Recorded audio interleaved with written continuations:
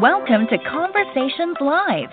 For more than a decade, we've brought you the best in books, entertainment, celebrity interviews, and current events. When the movers and shakers of the world have something to say to you, they say it to us first. Now celebrating 17 years of broadcasting success, here's your host, Cyrus Webb. And welcome back, everyone, to Conversations Live. I'm your host, Cyrus Webb. Glad you all could join us once again, both for our radio audience tuning in in the South, as well as joining us online around the world, thanks to our friends at iHeartRadio. We're glad you all could be with us as well. Well, one thing that 2020 has definitely shown us is that doctors and those in the healthcare profession have definitely been our unsung heroes for quite some time. And now we have a way to be able to show our support of them, and we're so excited to welcome back Dr. Ian Smith to our program. You guys remember we had him on earlier this year to discuss his novel, The Unspoken. He's here to talk to us about today how we can all become ally of doctors and ways that we can be able to show our support of them and make a difference as well. Dr. Ian, thank you so much again for the time. Really appreciate it. Cyrus, always good to be with you. Thank you.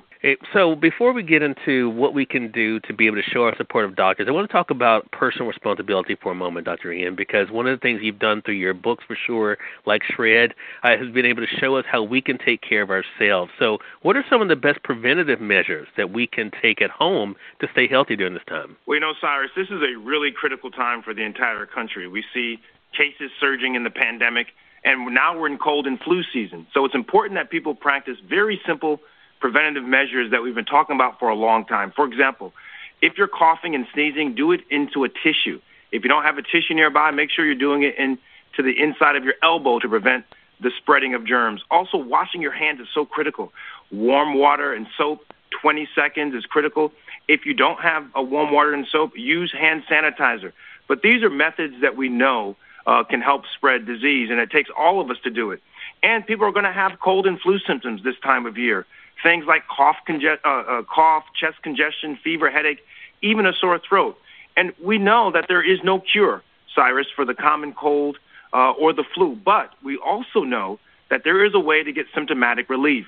Uh, there are over-the-counter medications people can get, uh, things like Mucinex DM 12 hour. These kind of products can help relieve uh, your chest congestion. It can help control your cough. It can loosen uh, uh, the mucus and thin it out uh, that's been giving you problems up for 12 hours. So people should use these medications, make sure they use them as prescribed by the manufacturer. It's on the box or on the bottle.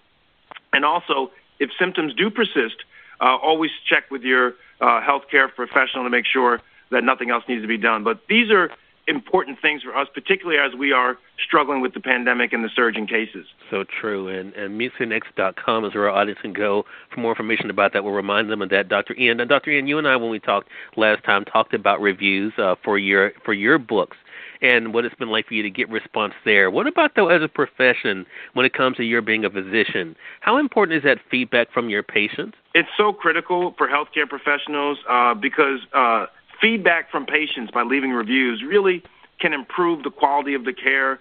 It can help doctors identify where there may be some gaps uh, in the delivery of care. Um, and also, it can make sure that other patients have a positive experience. So the doctor benefits because he or she can see their weaknesses and strengths and where they can improve. Uh, and then uh, the other patients benefit because they can read about your experience and see whether or not that's the right fit for their situation. You know, last year, in the last 12 months, uh, there are only 16% of patients who actually reviewed their healthcare professional. Uh, and so Mucinex is really encouraging people uh, to go to healthcare, uh, healthgrades.com, healthgrades.com, and really leave a review. Um, and, and part of their campaign of ally of doctors. In fact, Cyrus, what's cool about it is this.